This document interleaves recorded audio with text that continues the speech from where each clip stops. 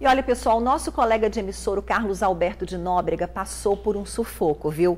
No fim de semana, o Brasil acompanhou o alerta que ele fez, tudo por causa de um iogurte vencido. Pois é, Ingrid, veja o vídeo que o humorista do SBT divulgou nas redes sociais. Hoje o assunto é sério. É, eu estou internado aqui no, no Hospital Sírio por uma infecção generalizada causada por uma infecção intestinal, porque eu tomei na quarta-feira um iogurte e eu não reparei na validade. Isso é uma coisa muito séria. Você tem que fazer o que eu não fiz. Quando for comprar qualquer produto, veja a validade, porque às vezes você pode perder a tua vida por causa de uma besteira, de uma irresponsabilidade de comerciantes que não se preocupam com, com as pessoas, com os seus semelhantes. Eu estou bem, eu estou bem, graças a Deus, mas levei um susto muito grande. Vou ficar internado alguns dias aqui e a partir de agora, certamente, eu vou ver validade até na minha mulher, coitada, que está pagando por isso. Não. Tome cuidado, gente. Um beijo e o que sair aí é fofoca. Eu estou bem, graças a Deus. Tchau. Ó, ver validade né? de marido e mulher não vale não, viu? Tá, tá certo isso não. Pois é, agora o TN1, além de fazer o alerta sobre o que aconteceu com o nosso colega de SBT, traz também o caso grave do capixaba que bebeu a cerveja Belo Horizontina e está com paralisia facial nas pernas e nos braços. Tainá Lopes conversa com o médico infectologista Lauro Ferreira, que fala dos riscos nesses dois casos. É com você, Tainá. É isso aí, eu já estou aqui com o doutor Lauro, ele que gentilmente vai esclarecer algumas das nossas dúvidas. E a gente já começa perguntando, doutor, obrigada pela sua participação, primeiramente. Qual de fato é o risco de consumir um alimento vencido? O nosso colega de profissão, pelo que ele diz, pelo que ele afirma, foi após consumir o iogurte vencido que ele sentiu tudo isso e acabou chegando nessa situação que ele está internado nesse momento. Mas quais os riscos reais do consumo de um alimento fora do prazo de validade? É, eu tive a preocupação de ver, está no site do Tribunal Online, como está no site do Estadão, da Veja, essa notícia que o Carlos Alberto Nóbrega, que ele informa e a esposa dele informa. Não tem nenhuma manifestação do hospital.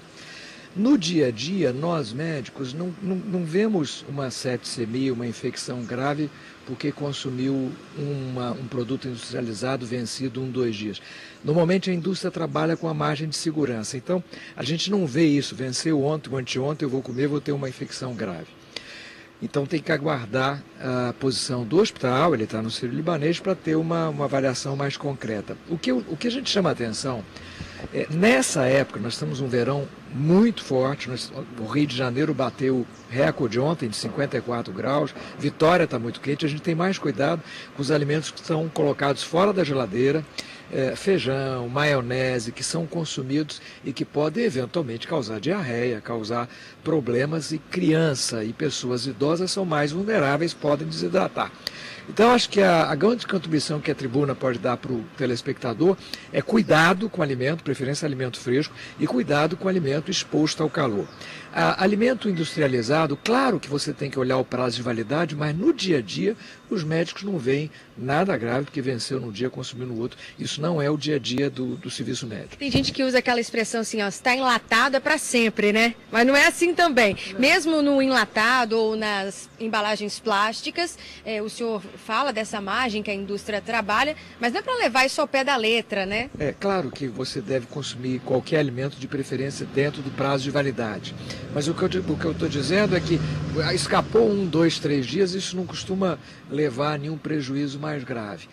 Volto a dizer, o que chama mais atenção da gente, o que os médicos civis de emergências veem ver, veem algumas vezes, são crianças, idosos, às vezes consumindo alimento que é deixado fora da geladeira, é, maionese e que eventualmente pode estar contaminada e causar diarreia e desidratação. Doutor Laura, é, em relação ao capixaba, né, que ingeriu a bebida mineira contaminada. A gente tem informações aqui da, da situação dele, o estado dele hoje. Ele está com paralisia facial nas pernas e braço. Ele é uma das dez vítimas da síndrome neural que atingiu o estado de Minas Gerais, das pessoas que consumiram essa bebida com substância inapropriada para o consumo humano. Estava conversando com o doutor Lauro agora há pouco. Existem outros riscos também do consumo de bebida alcoólica, principalmente ali na praia, que a pessoa pega abre, não faz a higienização correta da latinha ou da garrafa. Claro, não nesse tipo de contaminação, não nesse tipo de risco, como aconteceu nessas pessoas, mas há também um risco nesse consumo. É, é claro que toda lata que é comprada no supermercado tem que ser lavada, né? Porque aquilo é exposto a inseticida, a tudo que o supermercado eventualmente usa para conservar. Agora, óbvio, é, essa história de pegou uma latinha e depois morreu de doença de rato, isso é lenda urbana, isso não acontece.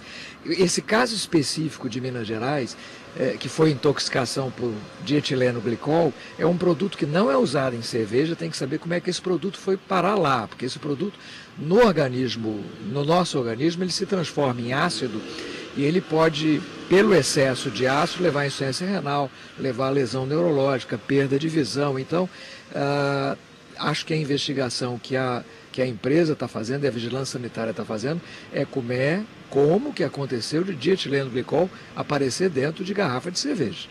Certo, doutor. Muito obrigada pela sua participação, e esclarecimento, viu, aqui no TN. Em nota, né, a gente pediu uma nota à Secretaria de Saúde do Estado, que diz que está acompanhando o caso. Desde sexta-feira, vigilâncias municipais estão fiscalizando e recolhendo os dois lotes de cerveja que ainda não tinham sido recolhidos pelo Ministério da Agricultura ou pela própria cervejaria. Eu volto com vocês.